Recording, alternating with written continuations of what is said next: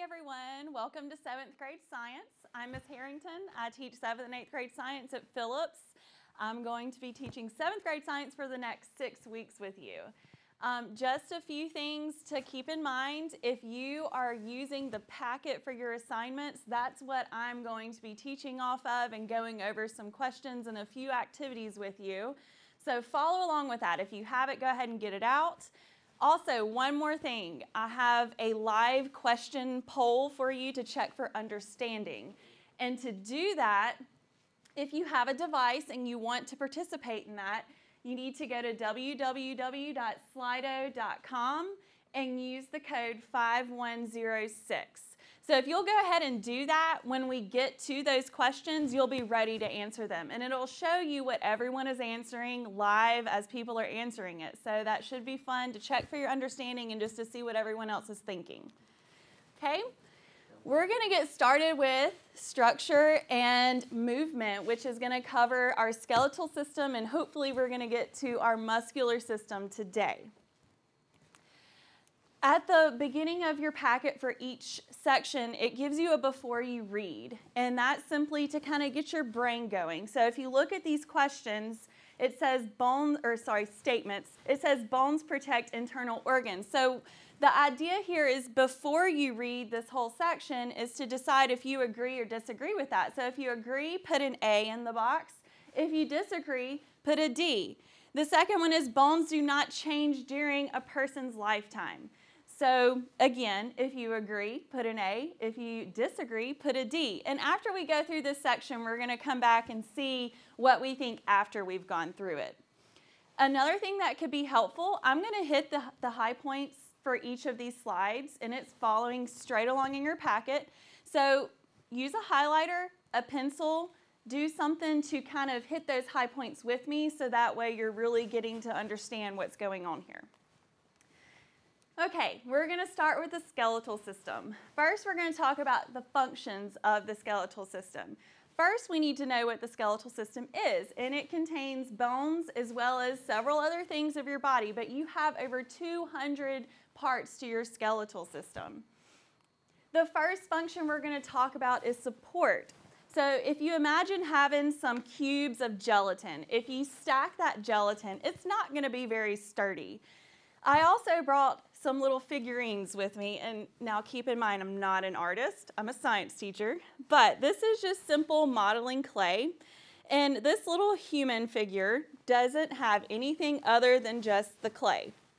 And so as you can see, if I try to make this figurine stand up, there's a lot of bending going on and pretty much hits face first.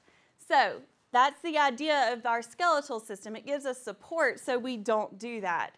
If you add some toothpicks to the human, it's easier to get the person to stand. Now, it's not going to stand perfectly because it's clay, but that gives you the idea of what our skeletal system does, to support us. So it helps us stand straight and it also helps us keep stable. Okay, moving on to our second function is movement. So the great thing about our skeletal system is our bones are attached to muscles which help us move. So not only can we bend, but we can lift and we can move our arms and legs and sit down and stand up because of our movement. Then we have protection. So if you think about your brain, your brain is protected because you have your skull or your cranium and a little demonstration I want to do here. I have two eggs. I have one in a container with just the egg and nothing else in the container. And I'm going to close the lid on that egg. Okay, so it's in the container. But then also I have a container with water in it, and the egg is going to go into the water. And I'm going to cover that one as well. And just to give some extra support, an extra cushion and also to keep the water from, from coming out, I'm going to put masking tape around this particular container. So this is kind of giving you the idea of your head, your skull, protecting your brain. Now, what I'm going to do here, I'm going to drop this container without the water and without the tape first. okay? And then also, I'm going to drop this one. So you can see how it bounced a lot. That's protecting the egg itself. Now, what happened here, the egg was supposed to crack, but you didn't have all that support. You can see how it hit a lot harder. So without our skull, we're not going to have our brain protected. So if you ever take a fall or you play sports and get hit in the head, it's good to have that skull to protect your brain. Notice here, and we can double check and see if the egg stayed together. The bounciness gave it more protection and more support. Now, if you try this at home, get your parents' permission because it can get messy. But again, our egg is protected, so the water and the tape gave it that extra protection. So our skull and our bones really do protect our bodies. They also protect all the other inside organs of our bodies. Think about your ribs and your sternum, uh, protecting your inside organs like your heart, your lungs, your stomach, etc. Okay, production and storage. So for this part, we have a few parts to our bones that are really important. Our red blood cells, which make, I'm sorry, our red bone marrow, which makes red blood cells. And then we also have a storage marrow, the yellow bone marrow, which stores fat for us. And then also, those parts of the bones can create calcium and store calcium for our body. And calcium is really important to get to certain parts of our body. So, bones make sure that that happens. It produces and it stores red blood cells, yellow, um, I'm sorry, fat in our yellow bone marrow, and also calcium. All right, this is where we get to do the live poll. If you're watching and have your, your device ready at slido.com, you have this code to put in. And the question is, how do bones act as a support system? So let's see. I'm going to give y'all about 10 seconds to see if anyone is, is submitting their answer, and let's just see what happens. So how do bones act as a support system?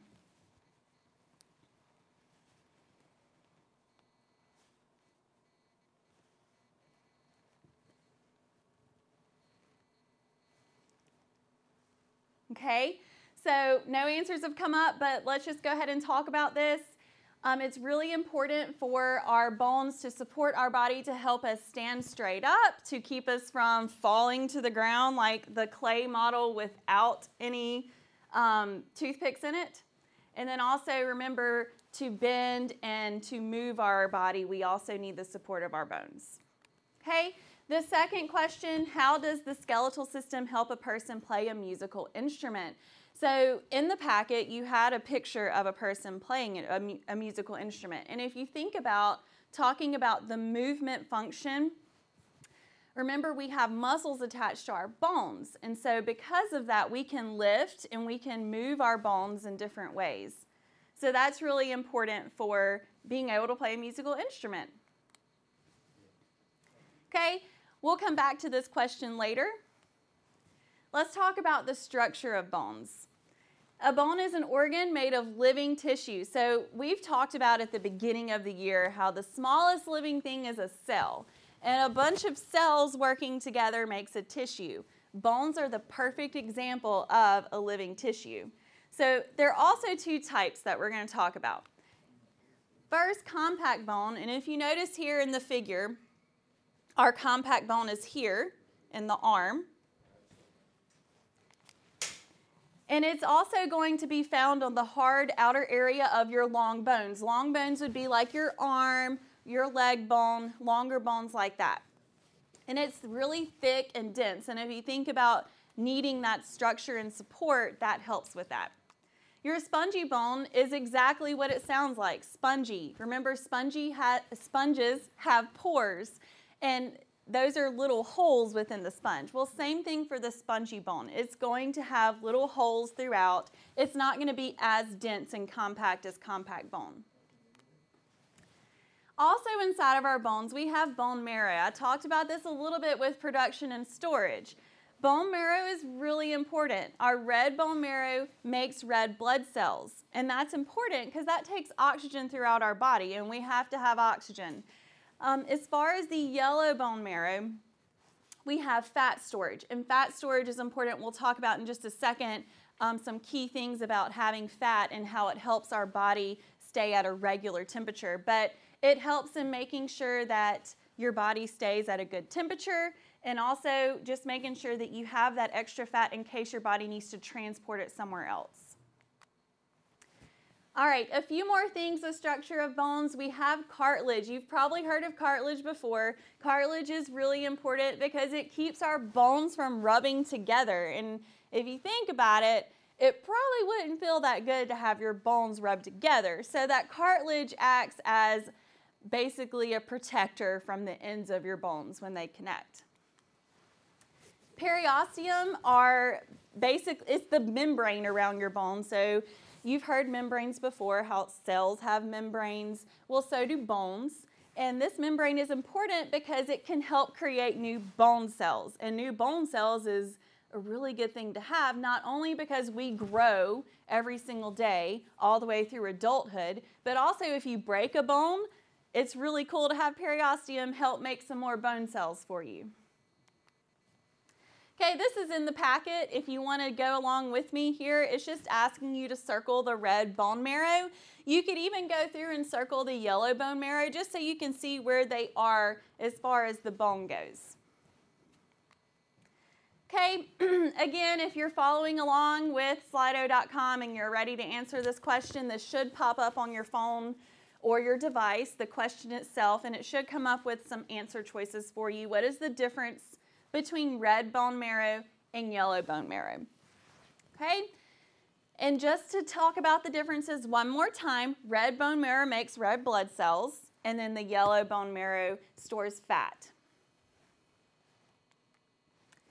All right, formation of bones. So before you were born, your skeleton was mostly made of cartilage, and you still have cartilage seventh graders, if you're watching this, even younger, even eighth and ninth graders, all the way till your adulthood, you still have cartilage in place of bone, but eventually that cartilage is going to turn into bone tissue.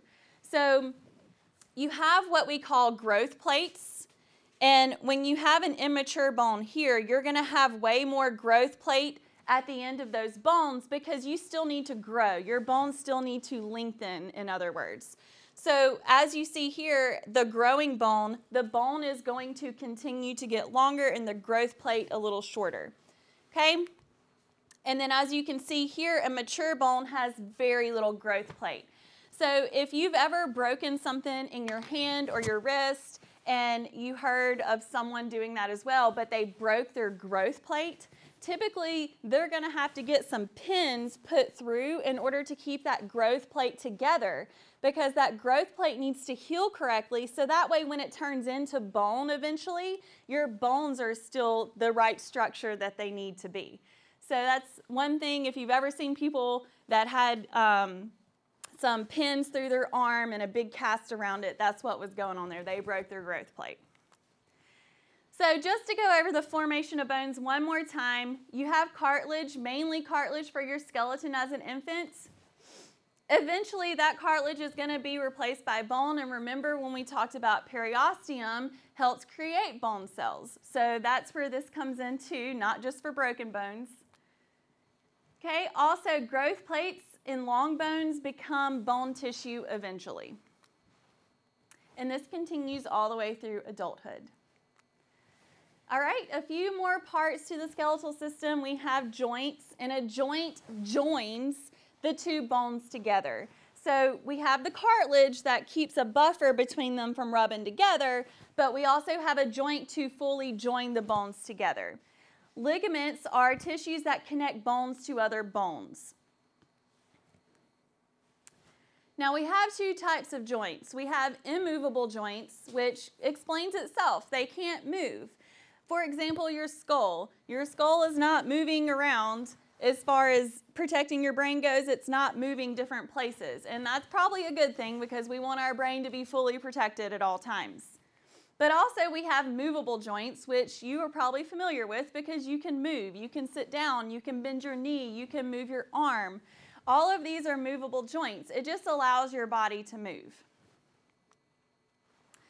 And there are different types of movable joints. We have ball and socket, we have hinge, and we also have pivot.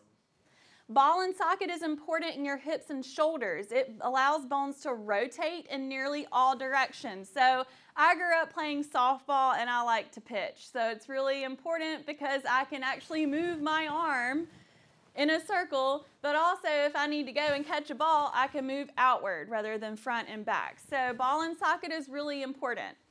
Hinge is the bone that can move back and forth in a single direction. So like your fingers, your elbows, and knees. Pivot is where bones can rotate. So like your lower arm, you can turn your arm back and forth. It's rotating. So those are your three different types of movable joints. Okay, um, again, here's a few questions to check for your understanding. How do ligaments and cartilage help your skeletal system function? Well, remember, our cartilage is important because it keeps our bones from rubbing together. Our ligaments actually connect bone to bone. Okay, where in your body are hinge joints? So if we go back a few slides, you can see where fingers, elbows, and knees are your hinge joints. A few things about bones. You can injure your bones. You prob most of you have probably experienced this at some point because kids will be kids. But because bones are made of living tissue, they can be injured.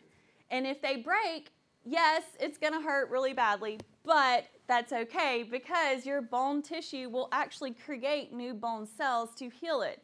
But it's super important that if a bone is broken, that it is stabilized in the correct position so when those bone cells do create, they will actually connect the bone the way it's supposed to be. Arthritis is another type of disease. You've probably heard of this, and kids, you're probably thinking, that's for old people. Well, typically it does happen in uh, adults 50 or older, but it all it is is just the inflammation of the joint. As you can see here, this is a healthy bone and a healthy joint where the cartilage is. But we have the inflammation of cartilage, and inflammation you can tell because it's red here of the joint. That would be an example of arthritis. Osteoporosis is another disease that you can have where the bones aren't really producing what they need to to stay strong they can become brittle and break a lot easier. But how can we prevent these things from happening? Well, you can stay healthy with a healthy diet and healthy exercise. Now, when I say exercise, I don't mean go lifting thousands of pounds of weight. Just getting out and moving, going for a walk, a run, maybe playing a sport. Keeping your body moving is really important for your skeletal system. A healthy diet. So, not always eating junk food, having some real food is a good example because your body can produce that vitamin D, which can help with calcium as well.